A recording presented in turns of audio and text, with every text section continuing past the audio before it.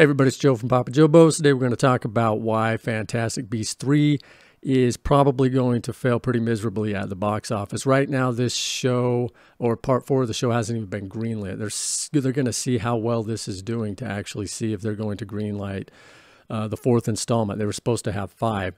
Uh, I don't think they'll get there with all the current controversies that this show has going on. Fantastic Beasts 3 earns lowest international box office opening of the franchise. Fantastic Beasts The Secret of Dumbledore posts a $58 million international opening weekend. The Harry Potter spin off franchise's lowest yet. Why is that? Controversy after controversy after controversy. Let's let's talk about the first one, and that would be Johnny Depp not being in the Johnny Depp, Johnny Depp not being in the film. Um, that's huge. People love Johnny Depp, whether or not you agree with uh, anything that's happened with his current Amber Heard case, which I'm not really following. I'm uh, a whole lot. I watch a couple YouTube videos on. I don't really care um, because Johnny Depp was pretty drugged out. She's pretty drugged out. You get those two things together, and they're going to fight. I feel bad for both of them, to be honest with you. A little more for Johnny Depp, if we're being honest, because Amber Heard's gone woo Anyway, that's the first thing. You can't take a major player out like that. You can't do it. Um, people have tried to do it in a lot of films, and it usually fails. Could you imagine taking Luke Skywalker out and replacing him with some, I don't know, yokel? It, it would be horrible. Anyway, the second thing is J.K. Rowling.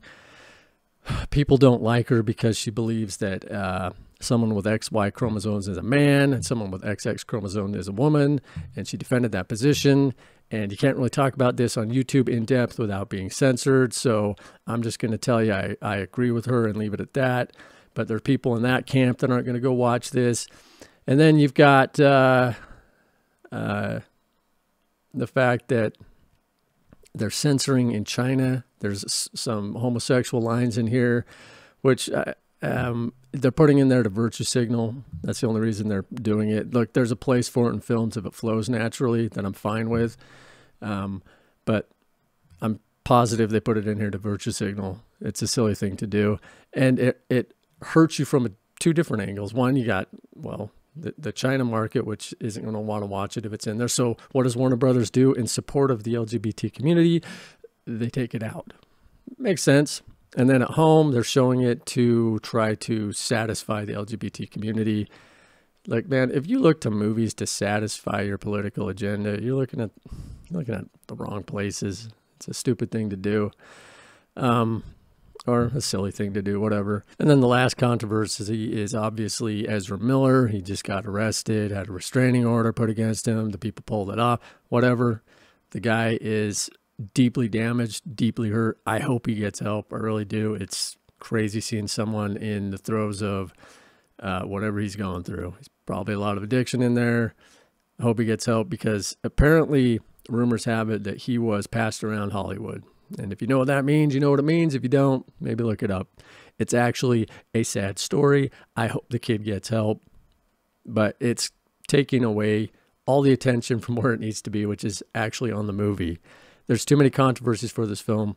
They've done too many stupid things with it. They've contradicted themselves. They've been hypocritical, and they haven't paid attention to their audience. Uh, on a personal note, I saw the first one. I thought it was pretty good. I saw the second one. I'm going to be honest with you. I don't remember it.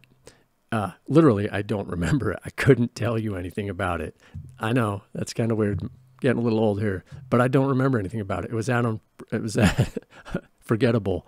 Um, First one I enjoyed a little bit. I thought Ezra Miller was good in it. I Thought he did a good job. I thought the uh, chubby guy who plays kind of the Homer Simpson do-gooder was good. Uh, I didn't like the Homer Simpson part, but the do-gooder part, yeah, I like that. I like a, hero story. They should have concentrated a lot more on him.